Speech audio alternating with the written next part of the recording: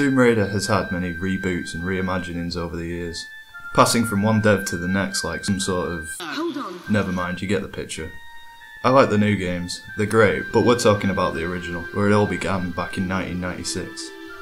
The titular Tomb Raider, also known as Lara Croft, is a badass British archaeologist with a knack for doing what we do best going around the world, stealing ancient things from native cultures, killing anyone or anything that gets in her way. Lara is truly an iconic gaming character. She's the Indiana Jones of gaming, except with a pair of guns. The man accredited to creating this character was one Toby Gard. It's said that his goal in creating Lara was for a very real looking woman who would be in contrast with all the other female game characters to date. Okay, Toby, nailed it. Anyway, back in 1996, full 3D graphics were in their infancy, and 96 itself was something of a hallmark year for games in general. Just to name a few, we got Duke Nukem 3D, Daggerfall, Crash Bandicoot, we got Resident Evil, we got Super Mario 64, so yeah, big year for games. And then along came Tomb Raider, developed by Core Design and published by Eidos, Eidos, Eidos. This was one of the few releases that really changed the game for everyone. Third person action games were about to take off in a big way, bringing the action from a whole new perspective. And arguably none of this would be possible without Lara Croft's first adventure. Well, let's take a look at how it plays today. So the Steam version of the game, as with many games at this time, comes with an already configured DOSBox install. No need to mess around there, so that's good. Loading it up we come across a few complications. One of the first I notice is the FMVs. If you're not familiar with old games, you might think this is just how the cutscenes are supposed to look, but no no no no no. Big black lines, we want rid of those. There are a few patches available online that fix this and a number of other bugs, including re-implementing the PS1 soundtrack that was missing from the PC version. But for the purpose of this video, the only patch I'll be using is the FMV fix.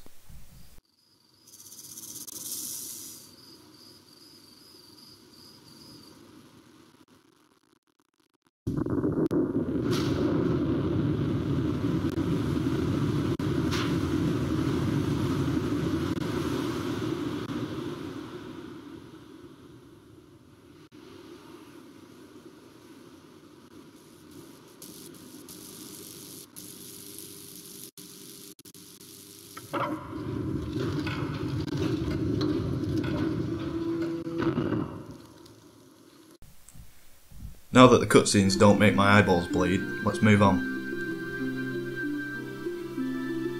So my second issue is not being able to move. The numpad keys work by default, and rebinding them crashes the game. But besides, I'm a true modern man, I want to play with my DS4. DS4 Windows doesn't seem to work, so we use Joy2Key instead. This helpful post had some profiles set up which work with an Xbox controller. I just had to change the action key from left control to numpad enter, otherwise this happens as I bounce around. Okay, so with all that out of the way, we're finally ready to play the game. We'll first want to familiarise ourselves with how to do just that. In the Croft Manor, we learn the basics of movement, climbing, swimming and such. We also learn at some point in the past Lara unearthed the fucking Ark of the Covenant and no one seems to mind her just keeping it in her house. Top men. So if you've played any third person platformer game in the last 25 years, then well, forget everything you've learnt up to this point. Pay attention to the tutorial since Lara controls unlike any other character in a video game. By today's standards, she controls like a tank balanced on shopping trolleys. This was before analog sticks were a thing, mind. The whole game is built on a grid. You can see it in how the levels are designed. Learning how to move around this grid effectively is key to success in this game. That's the gist of it.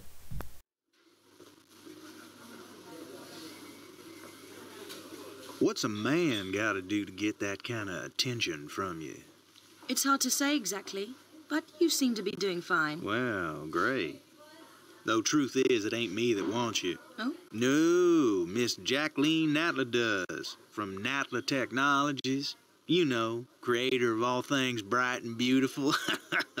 Seal it, Larson. Ma'am. Feast your eyes on this, Lara. How does that make your wallet rumble? I'm sorry. I only play for sport. Then you'll like a big park. Peru. Vast mountain ranges to cover. Sheer walls of ice. Rocky crags, savage winds. And there's this little trinket. An age old artifact of mystical power is buried in the unfound tomb of Qualopec. That's my interest. You could leave tomorrow.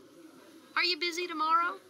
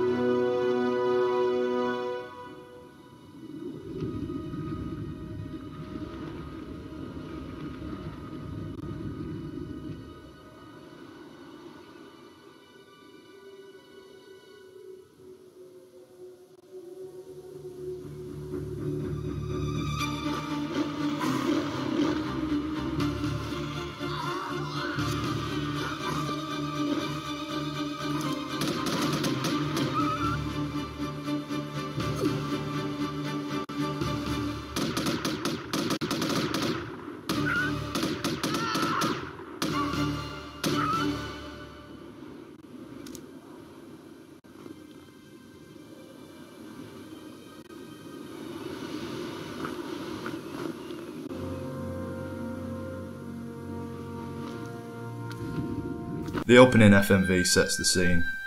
We're sent to Peru to unearth an artifact called the Atlantan Scion. We don't know much about this object, or our mysterious benefactor, Natla for that matter. So our mission right now is to head deeper into the cave and find out what we can. The first level is really easy, presumably acting as an advanced tutorial. There are a couple of wolves and bats scattered about to deal with. Use these to get to grips with how the combat works. My favourite strat is to backflip while shooting. It's all really simple stuff here. There's no difficulty levels after all, so the game does a real good job of easing us into the action. Soon we pull this lever and head to level 2. My advice is to save immediately and save often.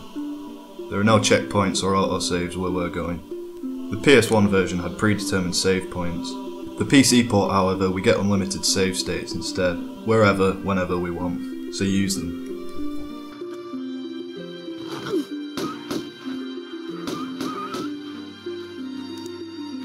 The second level is again pretty simple, so I won't go into too much detail. But here we learn what most of the game is going to be about. Look for a key, item, switch, or box to push. Use them to advance to the next area. Do some climbing and platforming, avoid traps, always be wary of corners. Also watch out for this bear. We open up the path and proceed to level 3.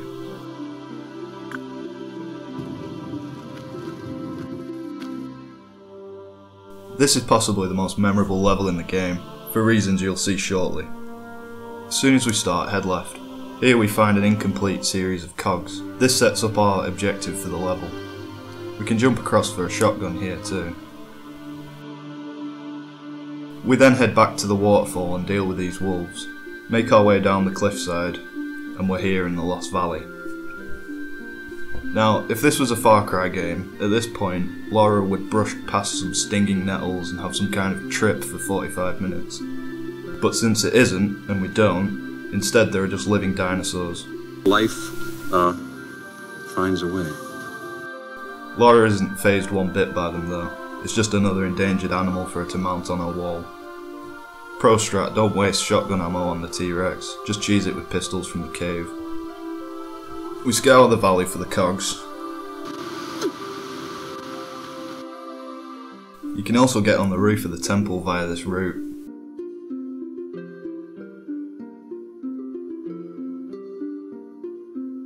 We as players are informed of this by the early 3D jank that gives away the secret on top. Head back with the cogs and fail this jumping segment a hundred times.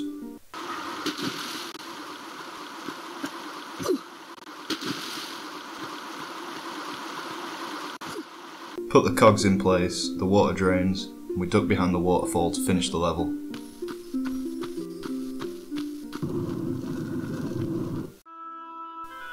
Finally, we're in a tomb. Let's get raiding. But first, watch out for this boulder.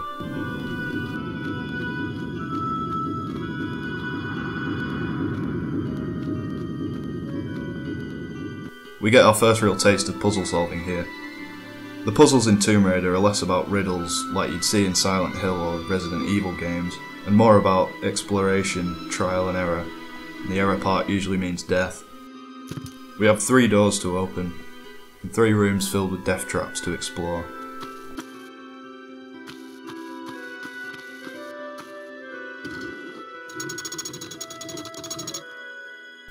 Once we find all the levers, we're ambushed by one more raptor. Clever girl.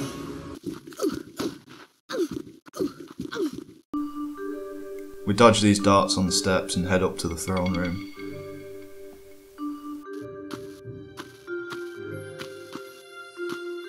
I didn't like the way this mummy was looking at me, so I killed it. We grab the scion, and in tropey tomb raiding fashion, the walls start crumbling.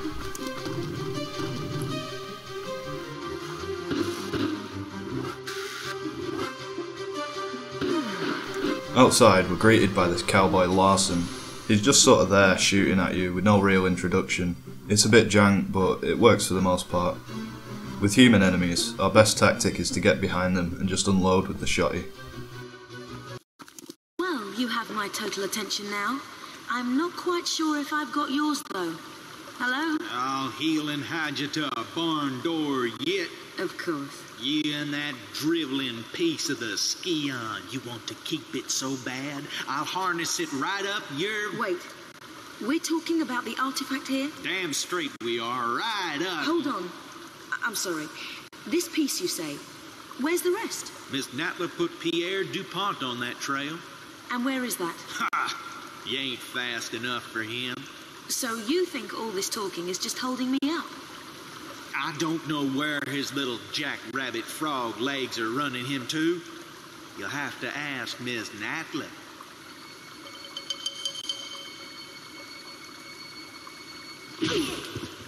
Thank you. I will.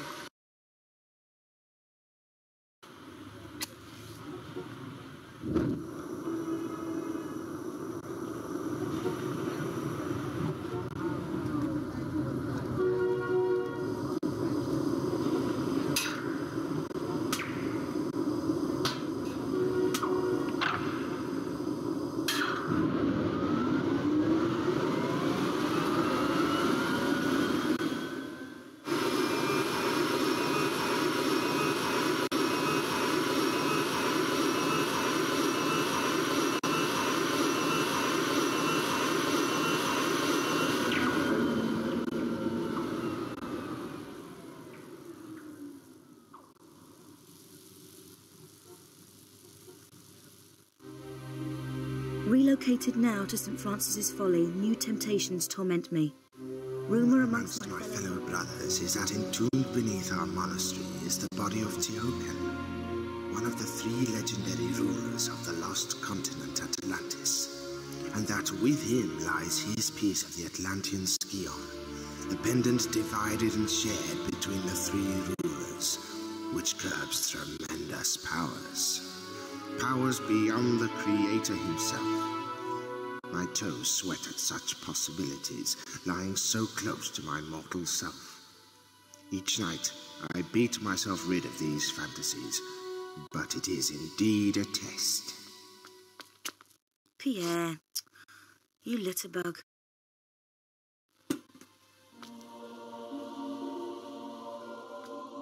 So we learn that the next piece of the Scion is located in Greece, underneath an old monastery called St. Francis's Folly, and some bloke named Pierre is here too. Well, let's get raiding again. We fight a couple of new enemies in the Greek levels, mainly lions and uh, gorillas.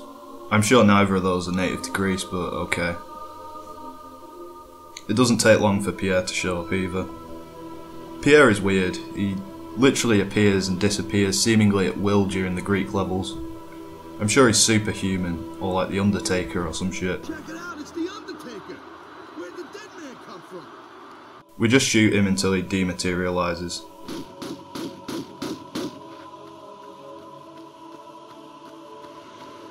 Climb out of this room using the pillars, then slide down here.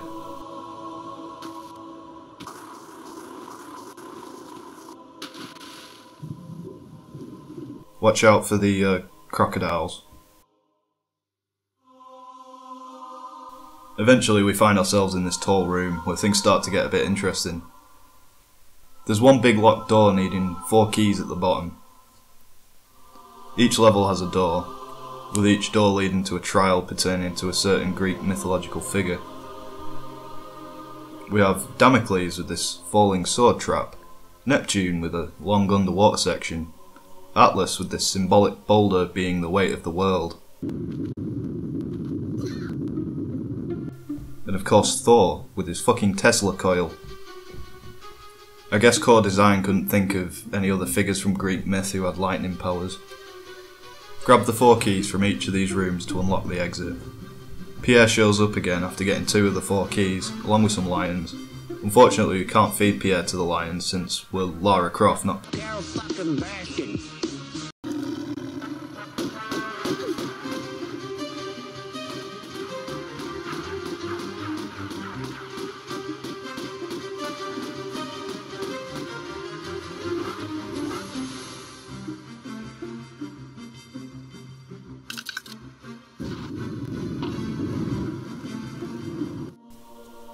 So the next level carries on the tradition of not knowing shit about the ancient world. This is the Colosseum. No, not that Colosseum, this, this Colosseum. It's actually an amphitheatre, but historical inaccuracies aside, it's a pretty straightforward level. For starters, give these gorillas the old Cincinnati special, before heading to the underworks. This lever opens up the way to the main viewing platform. From here we have to go to each of the corners of the amphitheatre to do a small puzzle. Pierre rematerializes from the spectral realm a few more times in this level too. Grab the key and swim past this croc to escape.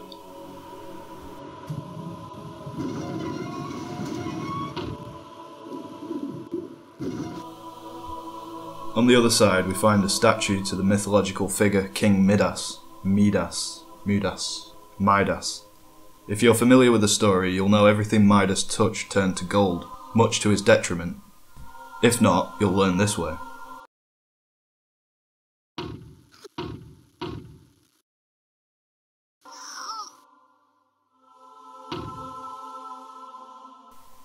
We fight a bunch more gorillas, so get those dicks out. There's also this sundial underground. Strange. Anyway, the deal with this level is navigating around this large ass room. We have a series of levers and a series of doors. The genius buried somewhere inside us figures out that the symbols on the doors correspond to the position of the levers. We then have to undergo a series of platforming challenges in the rooms, collecting a bar of lead from each as we go. Now, with three bars of lead, we open the fourth and final room, and. Is this maths? No. We don't want to do mathematics, so we head elsewhere to find our fortune. Instead of raiding tombs for a living, we could just live here and sell things to cashforgold.com. Maybe destroy a few economies for a laugh, I don't know.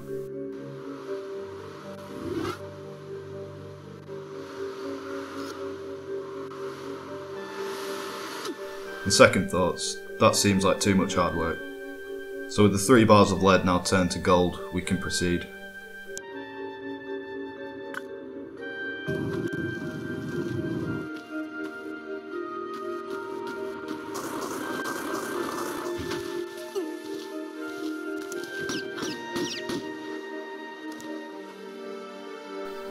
This is the sewer level, because you know all games have to have them.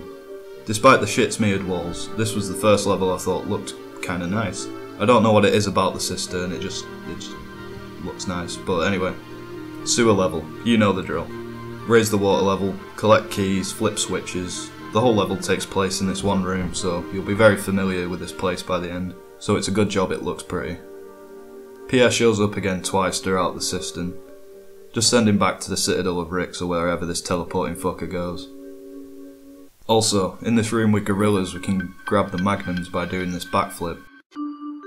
Then we get to try them out on some crocodiles.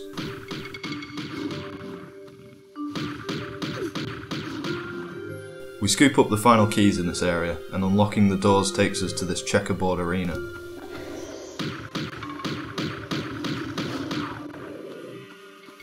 If we flip this switch, it just lets out lions, so push this block and escape down the hole.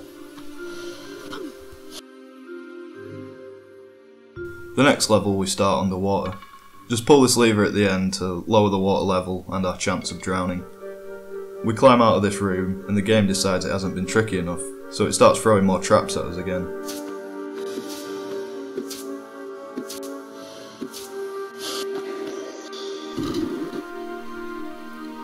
After we flip this switch, the room fills with water and we head down this tunnel. Pulling this lever causes the current to rapidly drag us to the other end. No.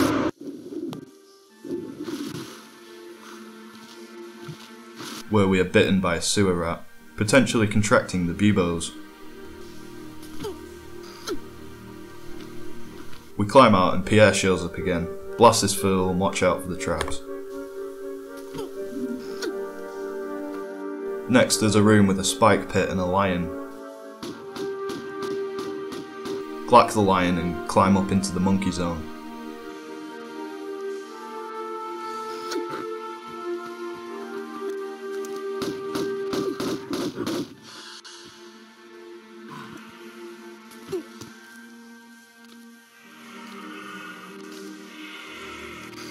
Grab the golden key and use it in the next room to raise these platforms. Which we traverse with the elegance of a gazelle.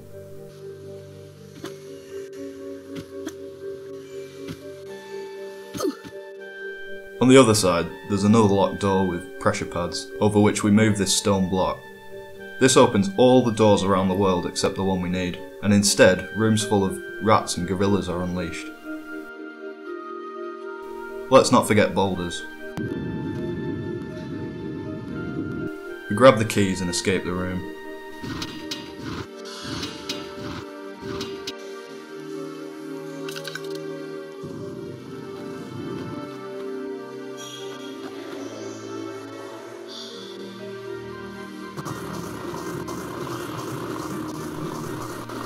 We slide out this cat's mouth and then find ourselves in a vast cave. We dodge one hungry boy and venture deeper into the cave. After jumping across a ravine, we discover this temple with centaur statues, but there's no way in. A lever we pulled earlier in the map showed a tiled waterway, so we go looking for that. We find it and another lever here which opens the temple. After backtracking there, we head inside and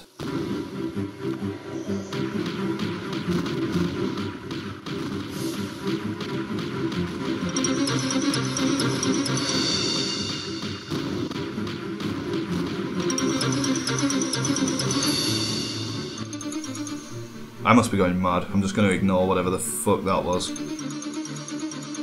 We head inside and Pierre is waiting for us. Little late for the prize giving, no?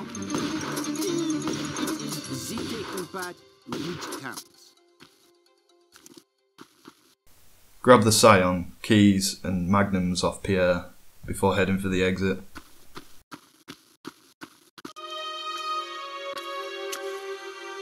Here lies Tihocan, one of the two just rulers of Atlantis, who even after the curse of the continent had tried to keep rule here in these barren other lands. He died without child, and his knowledge has no heritage. Look over us kindly, Tihocan.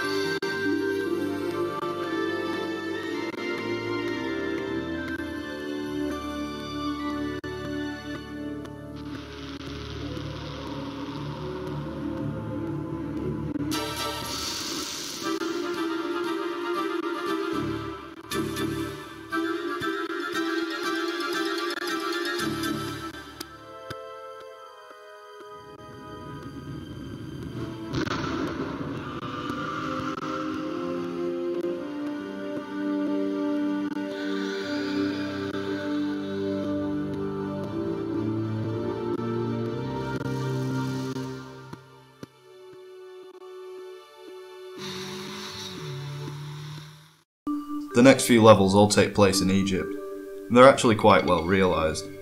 The whole aesthetic works really well here, and there's no glaring errors that stand out, like Thor in Greece or anything like that. Just good, simple, wholesome tomb raiding. Anyway, at the start of this area, we're attacked by a mummy smashed off its bean on PCP.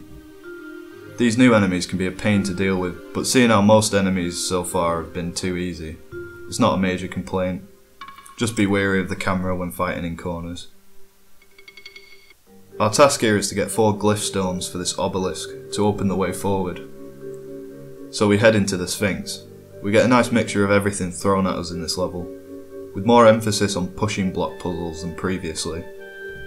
In fact, so much block pushing I made this house out of them where, for a week, I decided to hide from the prospect of ever finishing this game.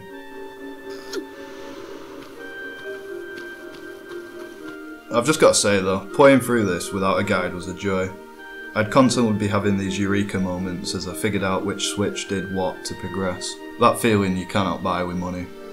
If the first group of missions in Peru were pure nostalgia, and all I could think about in Greece were the inaccuracies, then this is where the game really starts becoming its own.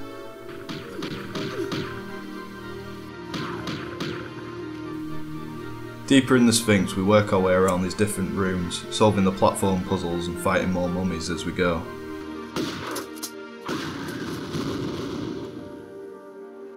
Eventually, we lower all the bridges and grab all four glyphs before heading back outside. Pushing all the glyphs into place opens the next area.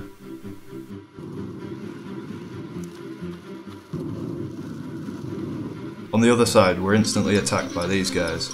I'm actually relieved to find out the skinned centaur statue with the Mega Man blaster that attacked me a few levels back was not a hallucination, and is in fact corporeal. These mutants behave a lot like mummies from the last level, but are easier since they will stop to shoot shit at you. So, there's this large sphinx in this cavern.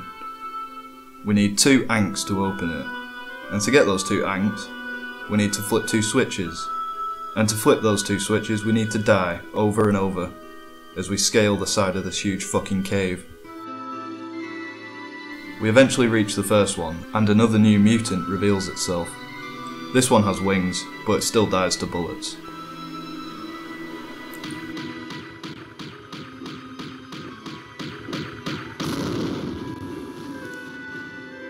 On the way to the second switch, there's this item hanging in thin air. Well, after a leap of faith, we can actually reach it and find it's a pair of Uzis. And uh, just don't think about it too hard.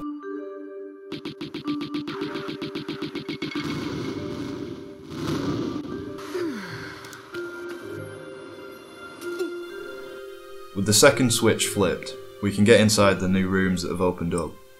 The first one just has a block puzzle and another centaur, but the second one has some more involved platforming.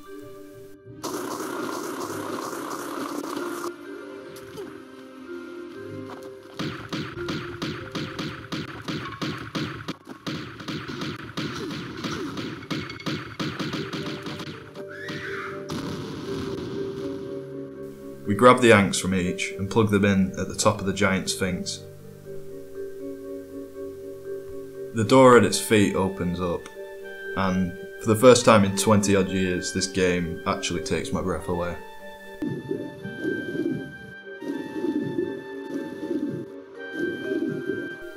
In here, there's some more of the same old, same old platforming and lever pulling.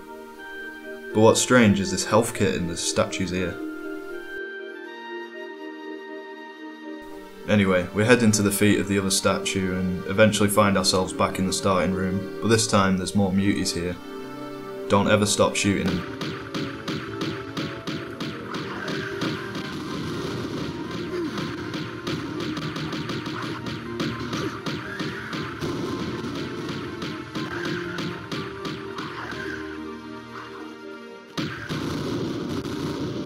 Shortly after that, we arrive in the Sanctuary of the Scion. I still got a pain in my brain from you. And it's telling me funny ideas now, like to shoot you to hell. Where Larson shows up once again. Just give him a taste of buckshot and grab the Scion.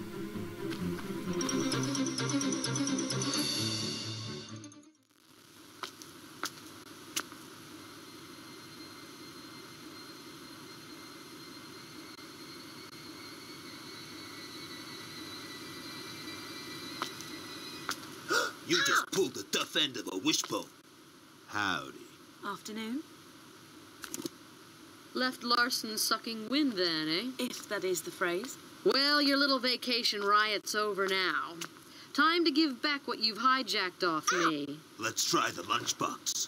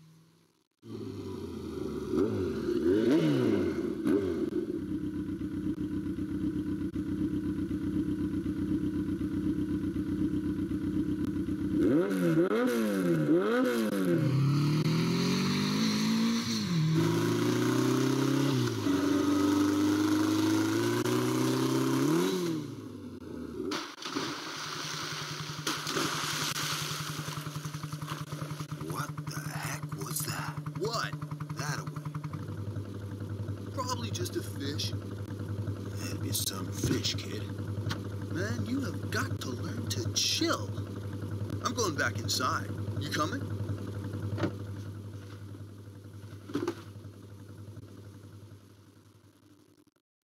Steady. Here she goes. We ready yet?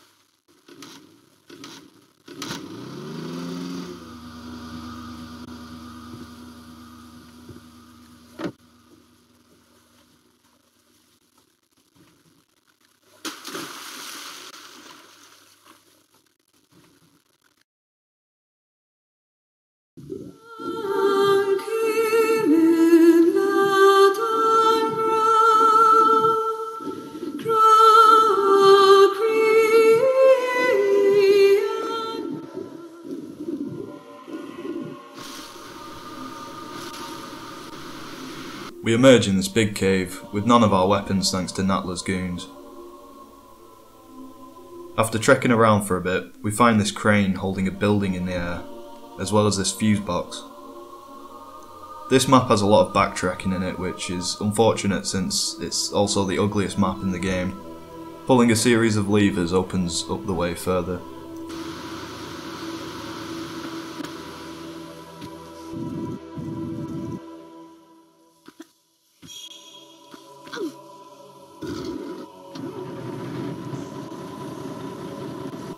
Be careful getting this fuse, as running too far ahead will trigger the boss fight and he'll push your shit in. After collecting all the fuses, we retrieve our pistols and head back to the cowboy fight.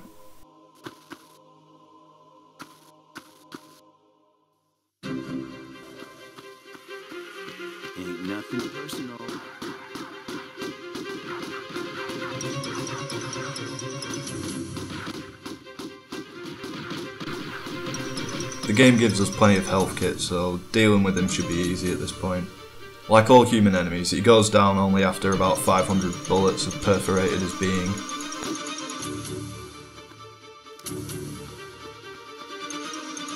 We retrieve our magnums from his body and then we drop down doing some more platforming over lava. This is where the scum begins. Prepare to die in almost every room at this point of the game, so save often.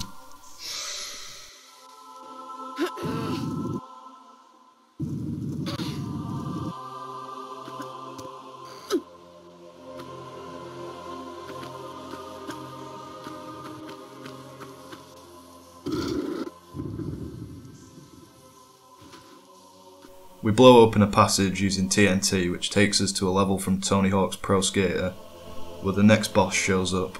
A guy the wiki literally just calls Skater Boy.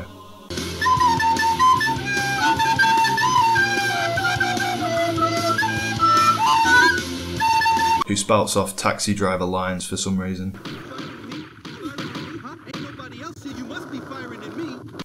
Blast this fool and get your Uzis back.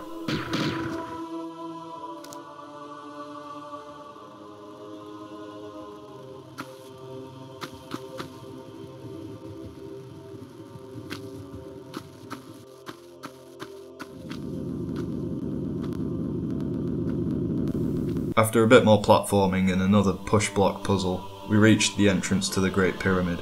Say cheese. Immediately upon getting here, we're attacked by the last of Natla's goons.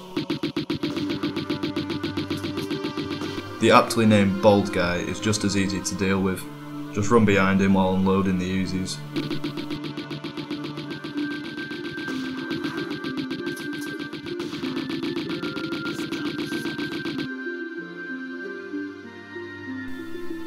Climb the side to get to this lever which opens this door which has the key to the Great Pyramid.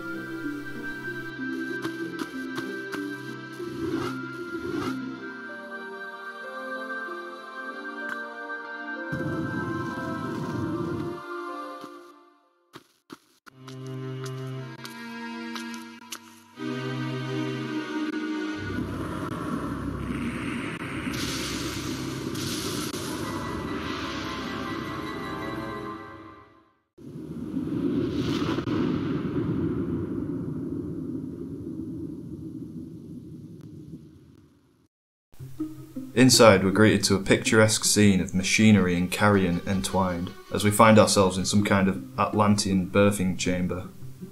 This is where the game starts pulling all the punches, and I'd be a complete liar if I said I didn't have an absolute blast playing through this level. First of all, nearly every room has at least one of those Atlantean mutants, so it's the most combat heavy level in the game. My gripes about fighting these guys are almost nullified, because the game gives us nearly limitless ammo in the following rooms. Second of all, we get some truly unique and interesting locations, which when juxtaposed with the Greek and Egyptian tombs of the early game, breathe some fresh air into the level design. On the other hand, the difficulty ramps up a lot here, so if you're like me, you'll be safe scumming after almost every jump. I really feel like some of Tomb Raider's best moments are all contained in this level, from some of the controller gripping jumps to just the whole aesthetic of the area. It really took me by surprise considering I hadn't played it in years.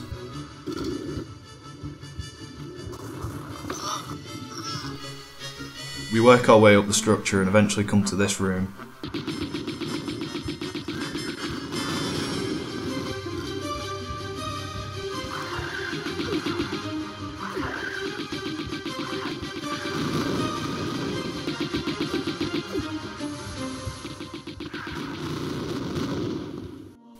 Clearing out the mutants, we slide down into a pit, and I suddenly feel like I'm Natalie Portman in the end of Annihilation. This doppelganger appears and it seems to copy all of Lara's movements. This was more than a little unsettling. Where did this thing come from? Has the pyramid been collecting Lara's DNA and spawning copies? Shooting it causes damage to Lara like it's a voodoo doll. So we have to use our head to beat this opponent.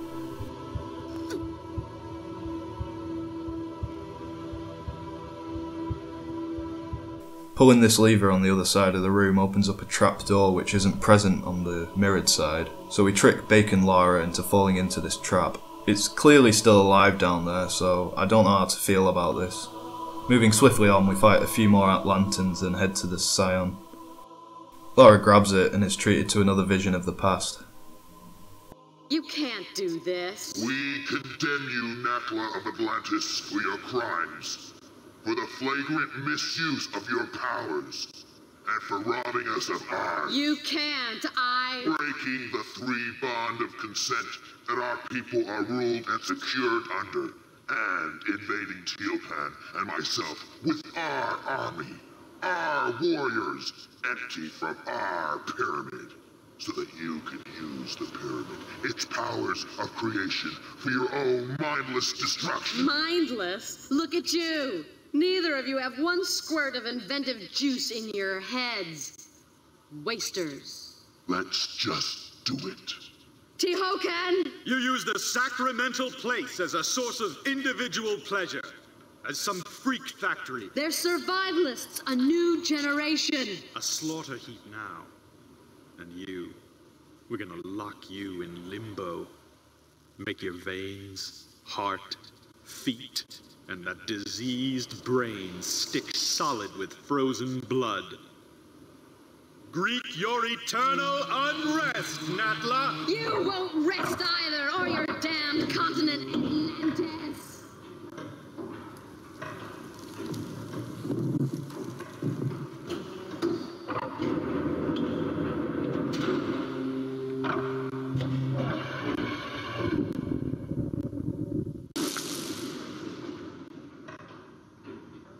Back again. And you? For a grand reopening, I assume. Evolution's in a rut, natural selection at an all time low. Shipping out fresh meat will incite territorial rages again, will strengthen and advance us, even create new breeds. Kind of evolution on steroids, then. A kick in the pants. Those runts Qualopec and Tihocan had no idea. The cataclysm of Atlantis struck a race of languoring wimps, plummeted them to the very basics of survival again. It shouldn't happen like that. Or like this. Hatching commences in 15 seconds. Too late for abortions now. Not without the heart of the operation. No! Ten.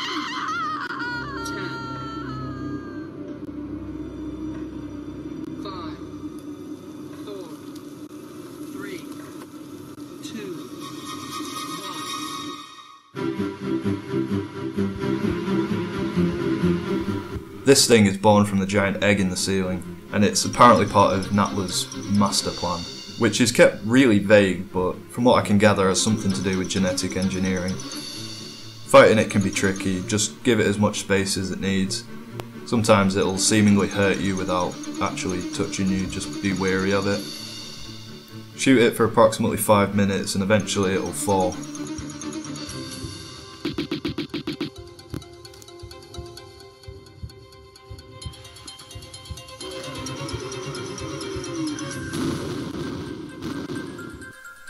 Still no explanation as to why mutants explode. Okay. We work our way back up to the Scion and destroy it.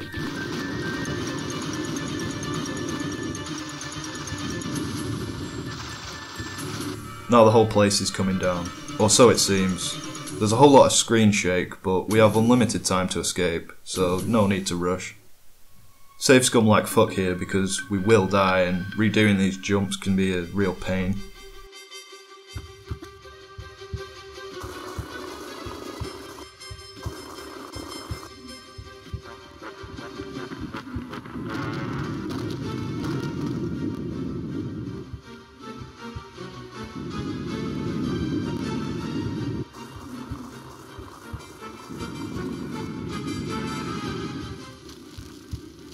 If you save during this fire segment, it seemingly turns off the fire, making the jumps easier.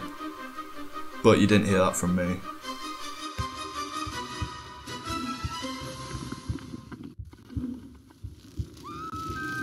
We fall off this ledge, but luckily land in water at the bottom. On the other side, we're in a huge open arena. And we have to fight Natla one last time.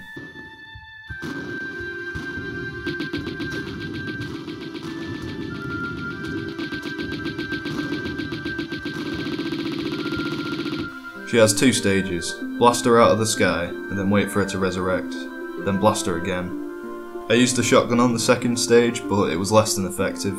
Just use the Uzis. After killing her for good this time, we scale the room and escape.